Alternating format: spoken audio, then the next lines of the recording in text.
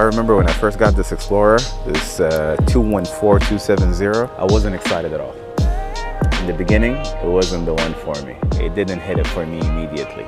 But then, a few days later, it kicked in.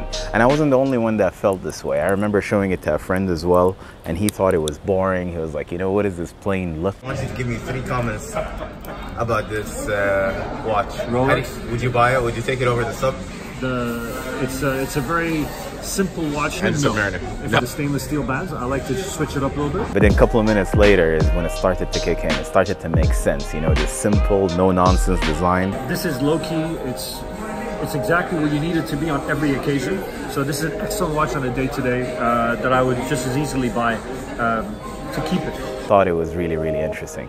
Before we kick off today's video, I would like to give a quick shout out to our sponsor, Piguet & Sons, a Swiss company that was created in 1989 in Geneva. They've been in the business for watch accessory for some time and they were kind enough to send through their all-new redesigned Astronomia X1 watch winder. Now there's two reasons why this winder is unique and I wouldn't recommend anything that I'm not using. Number one, it's because of its gyroscopic movement. Essentially it moves in clockwise and counterclockwise rotation for two minutes on stop intervals of eight minutes. And number two, that it's really well made. It's high-end fabrication quality. I've been using this Astronomia X1 for two weeks with no problems at all. I even had it by my bed rest. It's extremely silent. I couldn't hear a thing. This is the true original Astronomia X1. This is the real deal. This is not a copy. Handmade in Switzerland and available in two colors, gold and silver. I've honestly opted for the silver one because I thought it looks cooler. It's offered for 50% for a limited period of time and the links to where you can purchase them are in the description. Now back to the video. So this is the reference 214270 Explorer that was released at Basel World. Of course at the shoulders of the Explorer legacy, you know, so I don't want to get into the history and all of that. There's so many videos about it.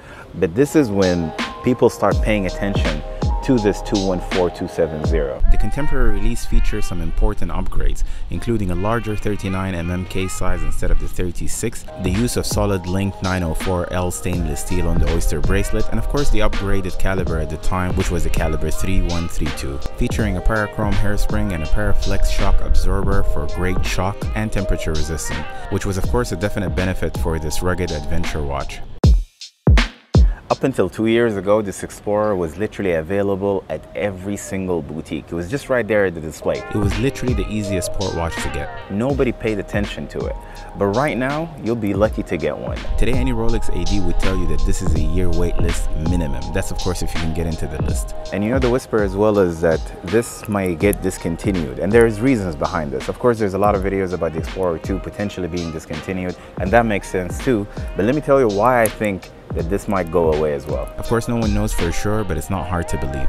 I mean, look at what happened at the Oyster Perpetual 39. It was the shortest production run ever. Two years, 39K size, and it was out. Another reason why discontinuing the Explorer makes sense is the fact that it's the last sport model from Rolex that is still on a 39K size. It doesn't match any of the other sizes anymore. I think it is possible that Rolex may up the size to 41 or calling it off completely. And I don't think they're actually going to discontinue it, but I think they'll discontinue the 39 case size and maybe move it to 41. Now, if Rolex discontinues the Explorer, the prices, of course, will shoot up. Then I think we'll come down a little bit. So I got this guy for $6,300 about two years ago. The retail price at the moment is about 7,500, I would say, with the aftermarket hovering at 9,800, which is very interesting. I see the 214270 hitting the 12K if discontinued. So this is what I got to tell you. If you've got one, well done hold it off. I think it's going to be a very interesting year for it. And if you get a chance to get one, then don't think about it. Just do it with no shadow of a doubt. I think this year is definitely going to be the year of the Explorer.